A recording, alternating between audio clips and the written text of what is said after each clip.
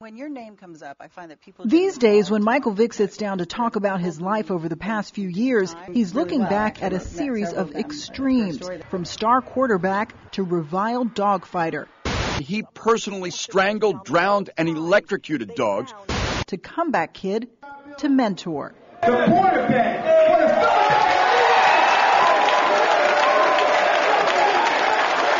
That last one is a brand new role for him. By his own admission, Vick had no interest in mentoring before, but now spends much of his free time working with the Humane Society of the U.S. and talking to students about the ills of dogfighting.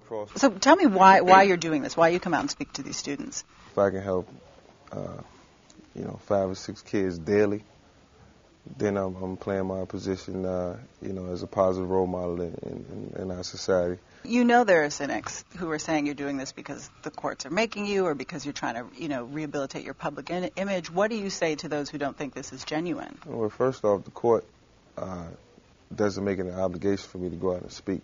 Um, it doesn't make it an obligation for me to uh, work with the Humane Society. It's not for any, any, any personal benefit, it's to help others. What convinced you that this wasn't just to drum up good publicity? Many things convinced us. Um, his message, first of all, is very open. I think it's important also to realize that he approached us. When I was younger, I got caught up in dogfighting. That's what we did. We did it at our own, at our own leisure. We wasn't doing anything. Something to do. I've heard that you're someone who loves animals. Can you can you describe what that the mindset is like? What someone who loves animals still allows them to be treated in that way? Uh, and you know, I hate to use our culture as an excuse, but um, it, it is what it is, and that's what happened, and that's the way I thought uh, about it growing up. That is, this is something we do. I love animals. I love, uh, I love dogs. I love uh, birds. I love all types of animals. But this was just the way we was brought up. So, was there anything intrinsically that told you this isn't right? No, it was nothing that ever told me it wasn't right. Nobody who uh, ever told me that it was the wrong thing to do. Now, you're not allowed to own dogs right now. Would Would you like to get another dog in the future? I would love to have another dog in the future. Um, you know, I think it would be uh, a big step for me uh, in, in the rehabilitation process. I, I think just to, you know, have a, a pet in my household and to show people that I, I genuinely care and my love and my passion for animals, I think it'll be, I think it'll be outstanding. And uh, you know, if I ever have the opportunity again, then uh, you know, I won't. T- I'll never take it for granted. The dogs that were taken from the kennels, almost all of them were rescued. These dogs lived their entire life in nothing but trauma. Do you ever think about the dogs?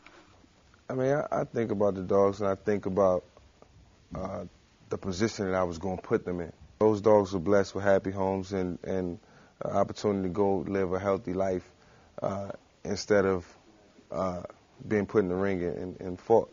So, uh, you know, that's what I think about. What about you as a person? Do you think this whole situation has made you a better person and a better player? This whole, this entire situation has changed my life uh, dramatically. Without going to prison, I would have never changed as an individual and as, as a person. And coming out of prison, I can't. I, I was a totally different person, better player, a better person. Um, you know, more patient, uh, more persistent, you know, in so many ways.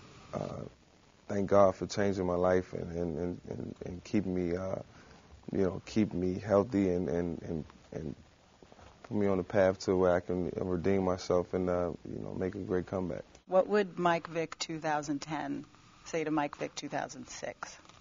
Uh, that Mike probably wouldn't listen to nothing that I had to say, you know, so I think it'll be like uh, talking to the wall. So uh, the conversation probably uh, wouldn't last no more than two minutes because, you know, the old Mike probably would have walked away. And the new Mike? Open, honest.